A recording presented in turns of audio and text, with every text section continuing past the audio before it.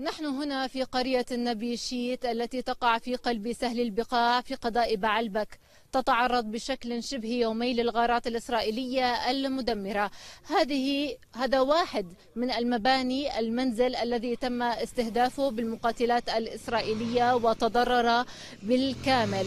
المنزل تدمر. أيضا كان هناك أضرار بالمحال التجارية المحيطة بالمنزل. نتحدث مع أحد أهالي البلدة حدثنا عن استمرار التعرض للغارات الإسرائيلية بشكل شبه يومي.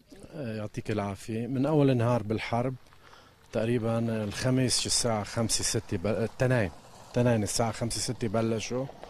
يعني عملوا حزام ناري حوالي النبيشيت دمروا شي عشرين بيت لف حوالي النبيشيت ليهجروا العالم ليفزعوا كلها بيوت مدنية. وهذا من أول البيوت اللي انضرب. هذا مستودع ترابي فيه وفي شي 20 قنينة غاز 10 قنينة غاز. ضربوه أول مرة حرقوه حريق. ورجعوا ضربوه تاني مرة بالحربة دمروا. ليك شوفي أنت سماكة السطح والبيت. هذا بيت فيه سلاح هذا لو بيت فيه سلاح ما بيبقى شيء هون كان بيطير كله برمت بيت مدنية وهذا جاره كمان مستودع.